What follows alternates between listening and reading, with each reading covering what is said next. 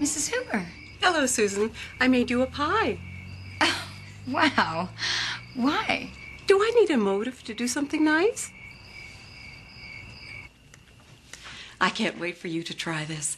It's mincemeat. Actually, I just had dinner. That's okay. You can save it for later. What's so funny? I was just thinking of that expression I'll make mincemeat out of you. Mincemeat used to be an entree made up of mostly chopped meat, so it was like saying, I'll chop you up into little bits. but that was centuries ago.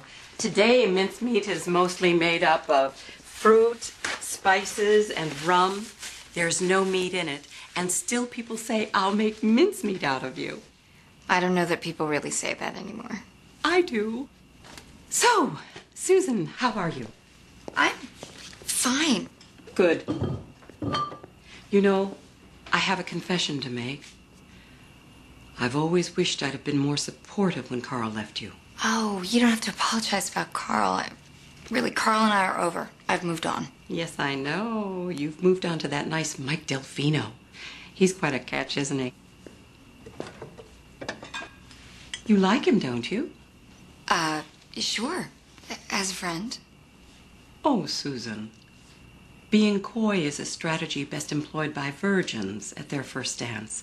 For women of our age, it's just annoying. Are you sure you don't want pie? No, thank you. I hope it works out with you and Mike. You've been so desperate to land him. Why? Well, I am not desperate. Oh, good Lord, Susan. You burned your rival's house down. If that isn't desperate, I don't know what is. Mrs. Huber, with all due respect, you're crazy.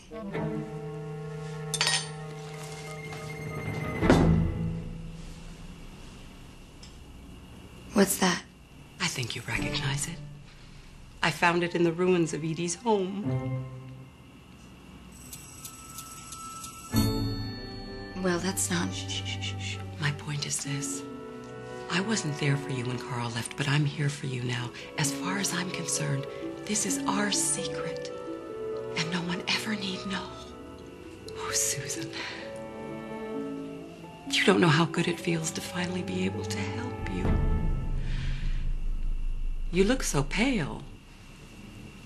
Now, I insist you try some of my pie. Go on.